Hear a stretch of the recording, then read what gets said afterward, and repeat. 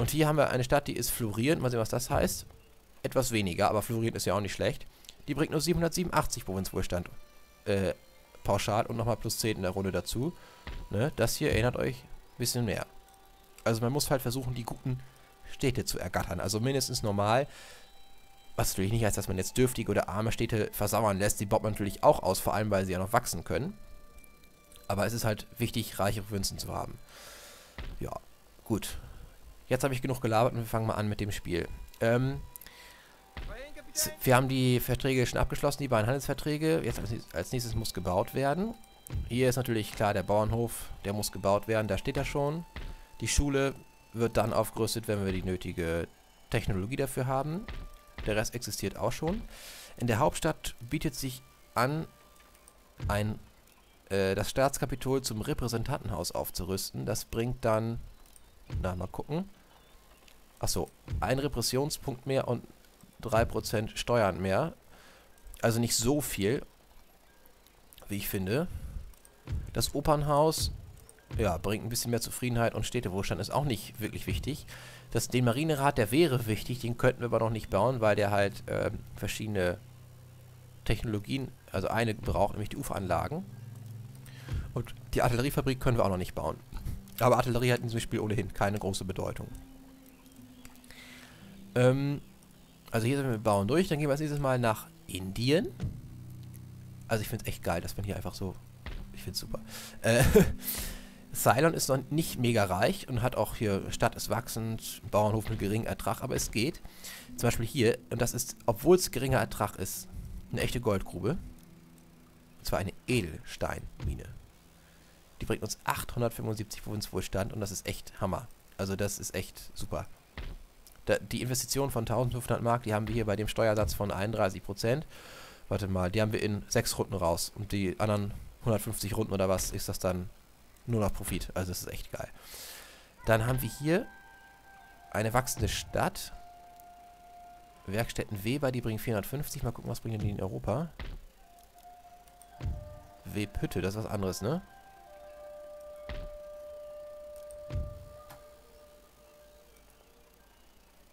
Also so reich ist die nicht und deswegen möchte ich diese gerne abreißen. Diese Stadt. Äh, und zwar, um hier eine Schule hinzusetzen. Und ich hoffe mir von dieser Schule mehr Forschungspunkte. Ups. Eine Runde dauert das, um die abzureißen und danach werden wir daraus eine Schule bauen. Hier haben wir dann darüber hinaus eine ganz wunderbare, mit immerhin normalen Ertrag Teeplantage. Die habe ich euch schon gezeigt. Die produziert 22 Kisten Tee pro Runde. Und wenn wir erstmal die Physiokratie erforscht haben, können wir die große Teeplantage bauen. Die produziert dann schon 37 Kisten Tee in der Runde, also 15 Kisten mehr. Und zu guter Letzt noch Reisfelder, die sind wichtig für die Ernährung vor Ort. Und Reisbauernhöfe als Steigerung bringt ein bisschen Geld und Bevölkerungswachstum. Zum Glück ist Ceylon eine große Provinz, das heißt, wir könnten hier mal äh, Gebäude bauen, Kanonengießerei und Konservatorium sowie eine Garnison. Das ist ganz wichtig, weil wir hier vor Ort auf jeden Fall die VOC-Infanterie ausbilden müssen. Die ist genauso gut wie Linieninfanterie in Europa und ist sozusagen das, äh, der indisch-europäische, genau wie die VOC-Kavallerie, die indisch-europäische Entsprechung von der europäischen Kavallerie. Ja, Befestigung brauchen wir noch nicht. Infrastruktur wäre aber ganz gut, damit es hier mehr Städtewohlstand gibt. Der Hafen ist schon ausgebaut. Wir bauen wir mal eine, einen Ostindien-Fahrer. So. Und mit den Schiffen, die ich hier produziere, möchte ich ganz schnell hier dann hin und erstmal mich mit den Piraten. Was haben wir denn? Schneebecke und Komische Schiffe, ja, die müssen wir dann besiegen und danach hier die Handelsposten besetzen für Elfenbein. Fünf Stück gibt es insgesamt. Hm. Ja. Ich, ich, weiß nicht, ob wir die Piraten schlagen werden. Am besten bauen wir lieber eine Flotte. Die hat nämlich mehr Kampfkraft. Es gibt hier zwei Typen von Handelsschiffen. Eins davon ist ein holländisches Spezialschiff, was nur die Holländer haben, nämlich die Fleute. Die hat richtig viel Rumstärke und Feuerkraft. Und da brauche ich mal lieber eine Fleute hier. So, die kostet zwar mehr, aber ja, jetzt gut, die hat viermal so viel Feuerkraft. Die ist fast wie ein Kriegsschiff. Ähm, die Spanier haben auch ein spezielles Schiff neben dem Ostindienfahrer, den alle Nationen haben, nämlich die Galeone. Die ist noch stärker als die Flotte, dafür aber auch ein bisschen langsamer. Ja, also ich brauche hier mal erstmal ein paar Schiffe, die Flotte halt und dann, äh... Ach, die gibt es nur eine Runde, interessant. Ja gut. Also Ceylon ist erstmal ausgebaut. Dann gehen wir nach Nord- und Südamerika. Hier haben wir gleich zwei Provinzen. Hier haben wir leider kaum noch Geld, aber mal sehen, vielleicht kommen wir gleich noch an was. Wir haben eher ein Holzfällerlager, was richtig viel Provinzwohlstand bringen würde. Aber ich gucke erstmal, was die anderen noch können. Eine Goldmine, die lässt sich erstmal nicht ausbauen. Und eine Edelsteinmine. Normalen Ertrag, also seht schon, die bringt noch mehr. Die in Ceylon hat 875 pro Runde gebracht, die offene. Die bringt schon 1050, also richtig gut. Die Goldmine natürlich auch 1500, also der Rubel rollt. Und der Hafen bringt den schönen Zucker weg. Die französischen Freunde sind nebenan und haben hier noch keine Armee, aber wir haben glaube ich auch keine oder so gut wie keine. Doch wir haben einmal Miliz, aber ich denke, das können wir bald erobern.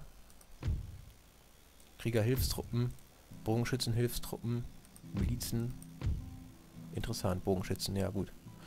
Auch ein bisschen archaisch das Ganze. Gut, ich schaue mal lieber, was wir hier noch haben. Curaçao, eine süße kleine Provinz mit einer sehr armen Stadt. Die könnte man nicht auch mal abreißen. Bringt auch kaum was, nur 300 Provinzwohlstand.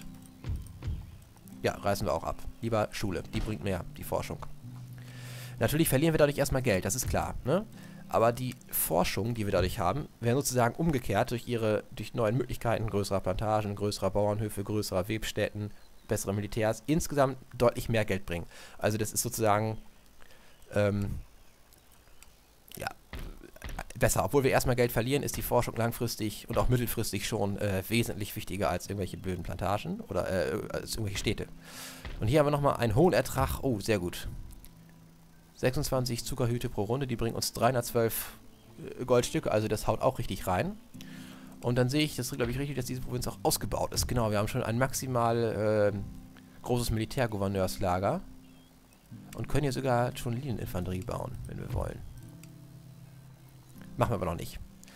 Erst nächste Runde. Wir bilden hier erstmal in Französisch-Guyana, ach, in Holländisch-Guyana ein Holzfällerlager. Für mehr Geld. Jawohl. Ja, und mit unseren Nachbarn müssen wir uns erstmal gut stellen. Die Holländer haben hier die Inseln über dem Winde und Französisch-Guyana. Hier sitzt Neuspanien. Ein Protektorat vom alten Spanien. Und wir müssen ein bisschen aufpassen, dass wir uns mit denen nicht anlegen hier, weil das wäre echt ärgerlich. Und hier sitzen die Spanier direkt in Santo Domingo, Kuba und Florida. Also wir streben hier in Nordamerika definitiv nicht die Weltherrschaft an, anders als Franzosen, Engländer und Spanier. Wir sind aber hier aktiv und wir brauchen die Kolonien auch auf jeden Fall. So, die Piraten werden wir gleich angreifen. Erstmal gucken. Oh, ist da schon mal die Infanterie. Und ein General, ja. Gerüchte um Feigheit. Oh, oh, nicht gut. Und Europa. Ja. Ja, also, was werden wir jetzt militärisch machen? Die Wirtschaft ist erstmal am Laufen. Wir werden nächste Runde 4500 Profit. Das ist ganz ordentlich. Wir sind verbündet mit England, Westfalen, Hannover und Österreich. Von Anfang an. Auch sehr gut. Im Krieg, wie alle anderen auch, mit den Barbaresken und Piraten. Und haben einige Handelspartner und noch keine Protektorate. Und es ist ja unser Ziel, Flandern zu erobern. Flandern ist von Spanien besetzt. Und wir müssten jetzt in der ersten Runde Spanien direkt den Krieg erklären, um hier einzumarschieren. Flandern ist eine recht reiche Provinz, also ich hoffe mir davon reichlich Einkommen. Äh, ja, hier ist auch nochmal eine wohlhabende Stadt und nochmal ein Bauernhof. Und vor allem eine Schiffswerft, die ganz wichtig ist für die Produktion von Schiffen. Die Spanier, das ist übrigens diese Galeone von den Spaniern. Die können wir natürlich dann nicht mehr bauen, aber äh, ja, Fregatten und so weiter. Wir haben hier nämlich nur einen Handelshafen, wir haben noch gar keine Schiffswerft. Wir haben nur Handelshäfen, wir müssen aber auch irgendwie Kriegsschiffe bauen. Äh, und deswegen ist es ganz wichtig, dass wir diesen Hafen früh bekommen und nicht erst, wenn es zu spät ist. Ja, hier sitzen die Franzosen noch mit der Flotte und hier haben wir unsere Flotte. Und die britische Flotte, unsere, unsere Verbündeten sitzen hier mittendrin, das ist ganz gut. So einen kleinen Puffer. Ähm, ja, unser Agent ist hier. Deswegen würde ich vorschlagen, dass ich jetzt direkt Spanien angreife. Ich kenne äh, ein bisschen damit mal geguckt, wie das so läuft normalerweise, wenn man Holland spielt. Viele lassen das so erstmal äh, Spanien sein hier. Finde ich aber nicht gut. Denn ich bin der Meinung, dass wir recht schnell äh, neue Truppen brauchen. Ich ziehe noch aus unserer Hauptstadt die Halbkanonen und die Pikeniere mit ab. Und dann greife ich jetzt Spanien an. Und wir werden vermutlich dann auch mit Neuspanien und Frankreich im Krieg sind. Und vielleicht sogar mit Bayern. Mal gucken. Ich erbitte den Beistand. Und bekomme ihn nur von Großbritannien. Die anderen drei leider nicht, aber egal. Dafür schließen sich ihm auch Bayern nicht an. Also wir sind jetzt im Krieg mit Spanien, Neufrank äh, Spanien, Frankreich und Neuspanien. So. Ähm, das ist wichtig zu wissen, dass auch die Franzosen mit uns im Krieg sind. Wir sind hier gleich nebenan. Ähm, ich speichere mal kurz.